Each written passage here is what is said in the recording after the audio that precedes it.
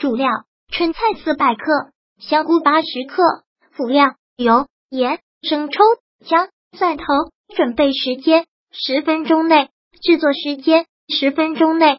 姜切丝，蒜头切片，春菜洗净备用，香菇切成片备用。热油炒香姜蒜，倒入香菇翻炒，把香菇的香味炒出来，加入春菜翻炒，加入适量的生抽、盐，大火炒匀，炒至春菜熟即可。装盘上菜了，很香呢。烹饪技巧：香菇先炒香，然后加入春菜炒，春菜不要炒过了，以免黄了。如果喜欢本视频，请分享并订阅本频道，别忘了按赞哦。